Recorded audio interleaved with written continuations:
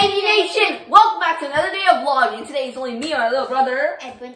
So, today guys, what we're talking about is going excited because Blox Fruits Update 17 Part 2 just came out yesterday. There's a lot of cool stuff they added. Yeah. But sadly, they Still no Dough Awakening. they delayed. Dough Awakening is on Part 3. And once that comes out, it's going to be so cool. Like, Dough is like already a super good food. Imagine they add Awakening to it, then it'll be even better. Mm. Yeah, so Part 2 is still really cool because Phoenix got an awakening. And it's pretty okay. Yeah, it is so cool. It's like there's like a bunch of fire and the detail, like the the moves are very detailed. Like the, yeah, They've also added accessories Yeah. and swords, yeah. including um, like Katakuri's The, and the, yeah, Man. yeah, the dope guy. The, he has the trident and a, and yeah. a scarf. Yeah, the trident. The actually pretty cool because you can like spin and you can, like grab stuff. Yeah, they even added a whole new map. It's like a, this um Cake Island map. It's like a castle. That's where the Katakuri guy he spawned. It's like beside the Big Mom Island.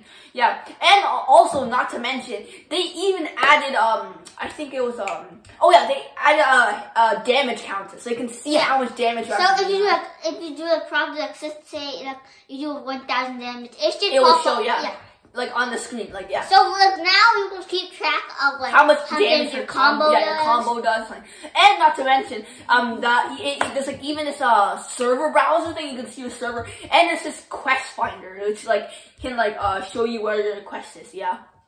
But yeah, that's really cool. And for the Phoenix Awakening, it's actually really hard to awaken. Uh, like It's, awaken. it's yeah. actually the most it's special of Oh, all yeah. because this time you don't just do a raid. Yeah, you just need you need 400 mastery, and you have to talk to six scientists And- to get the chip, and then you can, and which you have to buy for like 1,500 fragments. And then after that, you actually have to do the raid itself, and and after it's like really hard. It's like Yeah. sea beast.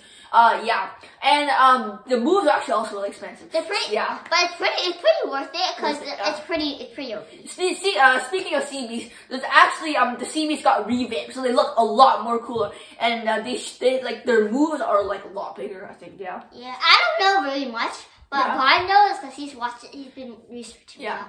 And there's also Darkblade. uh, Yoru got a revamp, so look, it looks a Yeah. lot more cool. Same as Ice.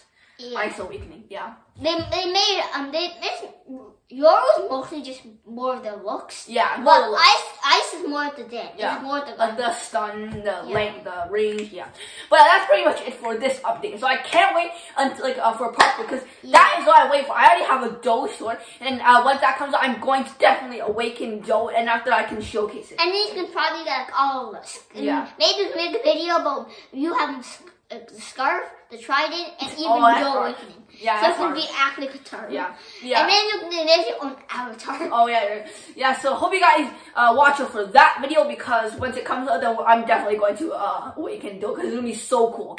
So yeah. Anyways, guys, hope you guys enjoy this vlog and don't forget to Hit like button and subscribe channel to make sure the notifications must miss any videos. yup. Anyways, be united and game on. Bye.